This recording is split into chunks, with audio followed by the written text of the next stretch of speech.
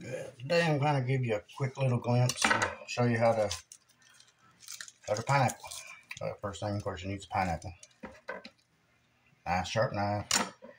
I use a uh, cookie sheet because this will get real juicy and you also want to get it all the floor and stuff.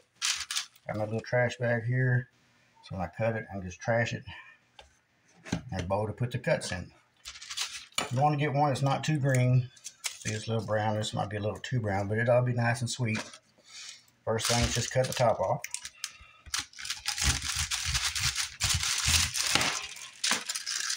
The garbage. Cut the bottom off.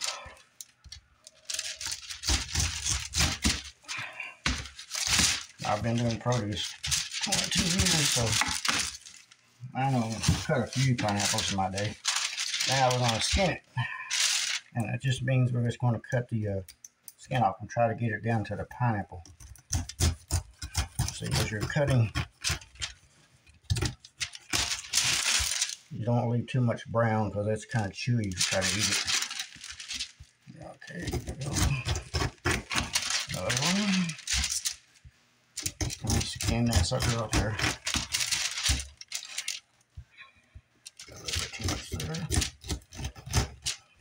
When you leave it a little too much brown, but you can always go back and trim it.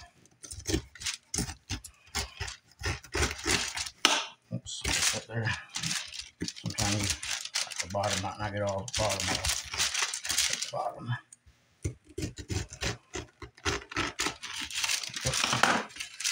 These puppies away in the garbage. Okay. Take here. I'll move out of the way a bit, turn this paper over so I use the other side so I don't have all that little nicky stuff, whatever it is. Take it. That's going to show you real quick. You got the core right here in the middle. Okay, that's the bad spots right here. I need to cut those off. It's no big deal. But you just want to cut, like cut next to the core. This core, I'm just right, right by it. And just cut down like that. Then same thing, just continue. I didn't wear gloves because this is for my own personal consumption. Okay, here, see there's the core still.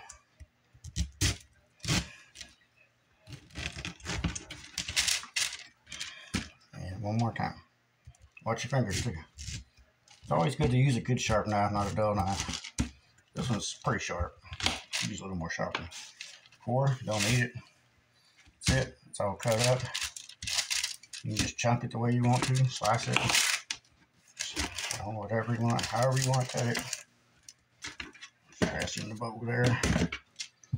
Big chunks, little chunks, that's all up to you. And slices. A little extra brown there I don't need. Chunk it in the bowl. More here. It doesn't take long, just a few minutes. Especially if you've done it a long time. So like I got a big one here, just slice it.